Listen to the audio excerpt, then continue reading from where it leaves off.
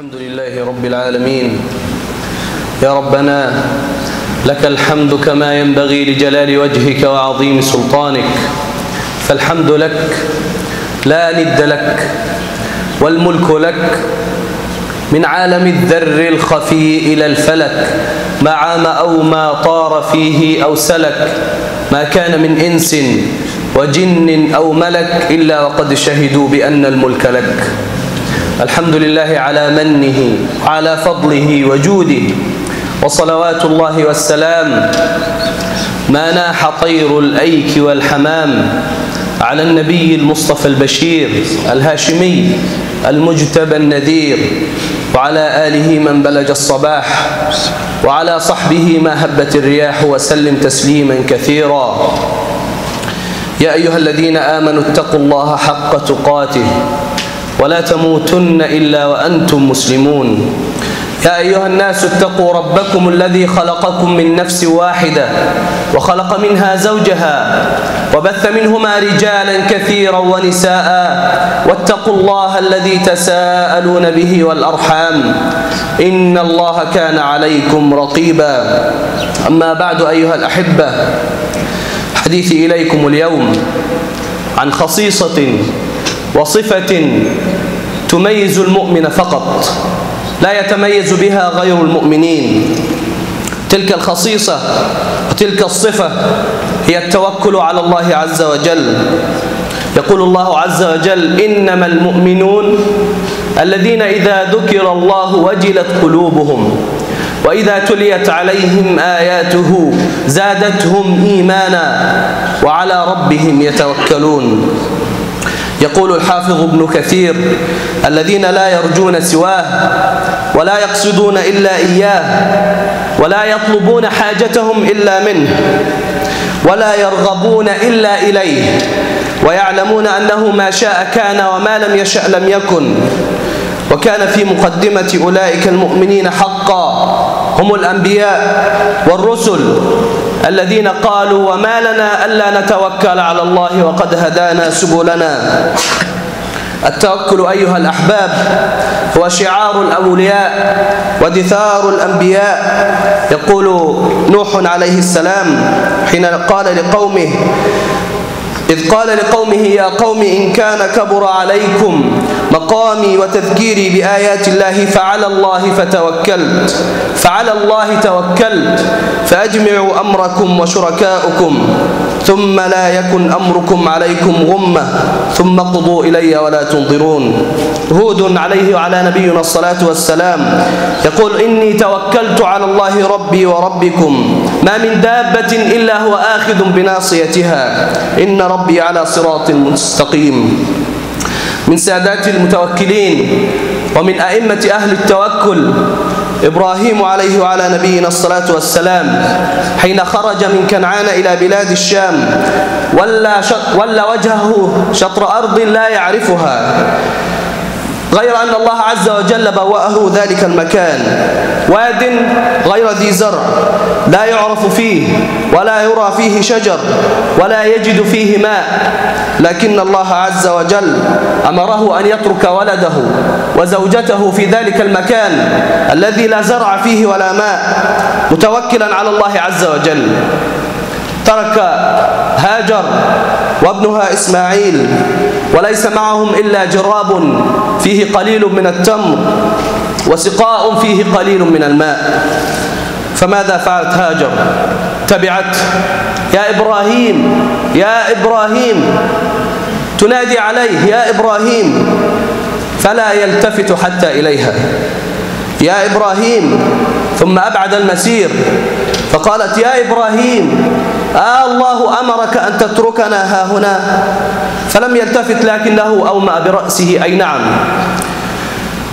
قالت هاجر. إذا لا يضيعنا الله. والله لا تدري مما نعجب أنعجب من توكل إبراهيم عليه السلام أم من تسليم هاجر رضي الله عنها بقضاء الله وقدره. كن عن همومك معرضا. وكل الأمور إلى القضاء. أبشر بخير عاجل تنسى به ما قد مضى. ولربما ولربما ضاق المضيق وربما اتسع الفضاء فالله يفعل ما يشاء فلا تكن معترضا. الله عودك الجميل فقس على ما قد مضى. الله آه الله أمرك أن تتركنا ها هنا. فقالت قال نعم قال إذا قالت إذا لن يضيعنا الله. أورد الحافظ ابن كثير أن جبريل نادى هاجر وهي على المروة. قال لها من أنت؟ قالت أنا أم ولد إبراهيم. قال لها وإلى من وكلكم إبراهيم؟ قالت وكلنا إلى الله. قال جبريل وكلكم إلى كاف. أليس الله بكاف عبده؟ يقول ابن منصور بن عمار قلوب المتوكلين هي أوعية الرضا. ومن هؤلاء المتوكلين وسادتهم أيضا أم موسى بن عمران حين أوحى لها ربها أن أرضعيه فإذا خفت عليه فألقيه في اليم. إذا خفت عليه فألقيه في المخافة ألقيه في اليم. فهي كانت تخاف عليه وتلقيه وهي ربما تخشى عليه الهلاك أو تخشى عليه أن يقع في يد فرعون فيهلك أو يقتله كما يقتل أبناء بني إسرائيل. لكن الله عز وجل قال فألقيه في اليم. ولا تخافي ولا تحزني إنا رادوه إليك وجاعلوه من المرسلين. فأرضعته الأم الرؤوف ثم وضعته في صندوق وألقته في البحر وهي تعلم أن فرعون لو وقع عليه لقتله. فماذا حدث؟ ماذا ماذا حدث لهذا الطفل الصغير الذي لا يملك لنفسه ضرا ولا نفعا ولا موتا ولا حياة ولا نشورا؟ ذهبت السفينة بأمر الله. والتقطه آل فرعون الذين يقتلون الأنبياء فإذا بهم يكفلونه ويرعونه ويبحثون له عن مرضعات يرضعونه وإذا العناية لاحظتك عيونها نم نم فالحوادث كلهن أمان. وصدق الله تعالى موعوده. وصدقت أم موسى في توكلها عليه. إنا رادوه إليك وجاعلوه من المرسلين. اليأس يقطع أحيانا بصاحبه. لا تيأسن فإن الفارج الله. الله حسبك مما عذت منه به. وأين أمنع ممن حسبه الله؟ الله يحدث. بعد العسر ميسرة. لا تجزعن فإن الكافي الله. موسى عليه الصلاة والسلام ذاك الذي أرضع التوكل من صغره في قبل أن تلقيه أمه في اليم. صار من سادات المتوكلين على الله عز وجل. خرج مع بني إسرائيل هربا من فرعون. فما لبث حتى أدركه فرعون. يقول أهل التاريخ والسير عن جيش فرعون أنه كان جيش عرمرم جيش كبير لا يرى أوله من آخره.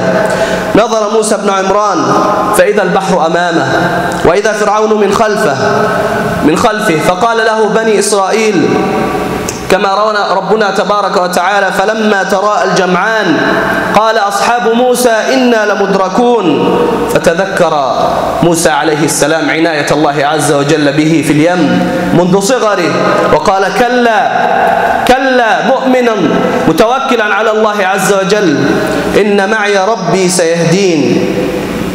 ومن وصايا لقمان لابنه يا بني الدنيا بحر عميق.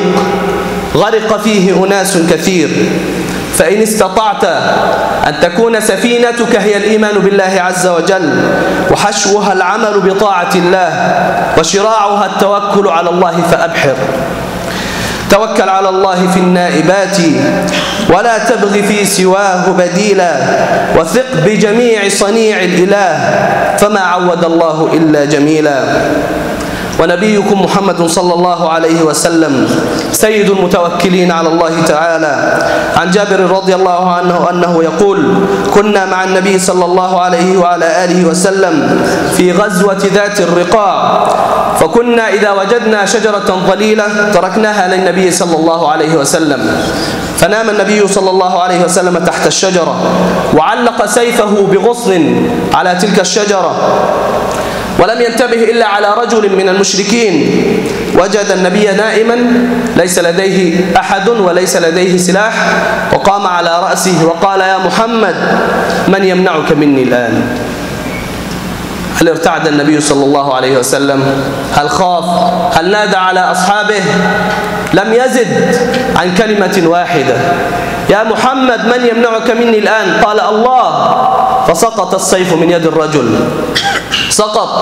ثم التقطه النبي صلى الله عليه وسلم. وقال من يمنعك مني الآن؟ قال المشرك. فقال يا محمد حسن العهد. كن خير آخذ يا محمد. فأمره النبي صلى الله عليه وسلم أن يؤمن. ولكن أبى الرجل لكنه عاهد النبي صلى الله عليه وسلم ألا يقاتل المسلمين. لذا علمنا النبي صلى الله عليه وسلم أن نتوكل على الله وأن ندعوه. اللهم لك أسلمت وبك آمنت وعليك توكلت وإليك أنبت وبك خاصمت. اللهم إني أعوذ بعزتك لا إله إلا أنت أن تضلني. أنت الحي الذي لا يموت والجن والإنس يموتون. ومن كان مما تلقف هذا الخلق وهذا الأمر عن النبي صلى الله عليه وسلم أصحابه. تلقفوا منه توكله على الله الذي كان يطبقه عمليا بينهم. ليست مجرد آيات يتلوها وأحاديث إنما كان يمارسه عمليا. حتى جاء ذلك الموقف الذي نادى النبي صلى الله عليه وسلم الصحابة. للنفقة. فجاء الناس بفضول أموالهم وفضول زادهم وفضول طعامهم ومراكبهم حتى جاء أبو بكر الصديق رضي الله عنه فأسكت كل من جاء قبله وقطع الحجة على الكثير فنثر الذهب والفضة بين يدي النبي صلى الله عليه وسلم وقال له النبي صلى الله عليه وسلم يا أبا بكر ما تركت لأهلك؟ قال تركت لهم الله ورسوله. توكلنا على الرحمن إنا وجدنا الخير للمتوكلين ومن لبس التوكل لم تجده يخاف جرائر المتجبرين قال تركت لهم الله ورسوله توكل في توكل في الرزق اعتمادا على الله عز وجل في طلب المعاش مصداقا لقول النبي صلى الله عليه وسلم لو أنكم تتوكلون على الله حق توكله لرزقكم كما يرزق الطير تغدو خماصا وتروح بطانا. بارك الله لي ولكم في القرآن العظيم ونفعني وإياكم بما فيه من الآي والذكر الحكيم. أقول ما تسمعون وأستغفر الله لي ولكم فاستغفروه إنه هو الغفور الرحيم.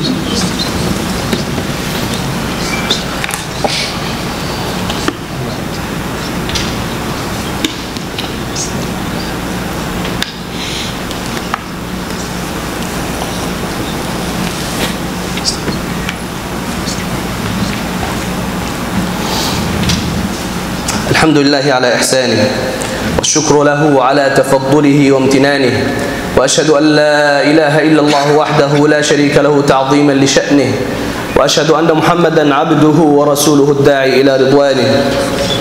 ثم أما بعد إلى الرحمن ترتفع الأيادي وليس لغيره نفع العباد وباب الرزق بالإيمان يطرق. إذا أيقنت أبشر بازدياد وثق بالرب رزاق البرايا كما وثقت به الطير الغوادي إذا خرجت من الأوكار جوعا تعود بطانها ملأ بزاد فما حالنا نحن أيها الأحباب؟ هل توكلنا على الله عز وجل؟ أم توكلنا على الأسباب وغرقنا في الأخذ بها ونسينا مسبب الأسباب جل وعلا؟ والنبي عليه الصلاة والسلام يقول من نزلت به فاقة فأنزلها بالناس لم تسد فاقته. ومن نزلت به فاقة فأنزلها بالله فيوشك الله له برزق عاجل أو آجل. رواه الترمذي. توكل على الله عز وجل حتى في رزقك وفي كل أمرك. شكى رجل إلى إبراهيم بن أدهم كثرة عياله فعلمه أو أراد أن يعلمه إبراهيم درسا فقال له يا أخي انظر إلى كل من في منزلك من ليس رزقه على الله فحوله إلى منزله وما من دابة في الأرض إلا على الله رزقها. أيها الأحباب أيها المحبون توكلوا على الله عز وجل وسلموا لحكم لحكمه وارضوا بقضائه. إن الحكم إلا لله عليه توكلت. توكل على الله في دفع أذى المؤمنين. في دفع أذى المؤذين وحقد الحاقدين وحسد الحاسدين فاتخذه وكيلا واصبر على ما يقولون. كما يقول ربنا تبارك وتعالى ولنصبرن على ما آذيتمونا وعلى الله فليتوكل المتوكلون. ويقول الله عز وجل ودع أذاهم وتوكل على الله وكفى بالله وكيلا. أليس الله بكاف عبده؟ أليس الله بكاف عبده؟ ويخوفونك بالذين من लोगों ने توكل على الرحمن في كل حاجة. أردت فإن الله يعطي ويقدر متى ما يرد ذو العرش أمرا بعبده يصبه وما للعبد أن يتخيروا وقد يهلك الإنسان من وجه أمنه وينجو بحمد الله من حيث يحذر. أيها المتوكلون على الله أيها المخلصون أيها المؤمنون اعلموا أن المتوكلون على الله عز وجل يدخلون الجنة بغير غير حساب. يقول النبي صلى الله عليه وسلم يدخل من أمتي سبعون ألفا من غير حساب. لا يكتوون. ولا يسترقون ولا يتطيرون وعلى ربهم يتوكلون. ألا صلوا وسلموا على من أمركم ربكم بالصلاة والسلام عليه. فقال عز من قائل إن الله وملائكته يصلون على النبي. يا أيها الذين آمنوا صلوا عليه وسلموا تسليما. اللهم صل وسلم وبارك على عبدك ونبيك محمد. وعلى آله وصحبه وسلم. اللهم أعز الإسلام والمسلمين وأذل الشرك والمشركين ودمر أعداءك أعداء الدين. اللهم اغفر لنا ذنوبنا وإسرافنا في أمرنا وتجاوز اللهم عن سيئاتنا. اللهم اهدنا وأصلح حالنا.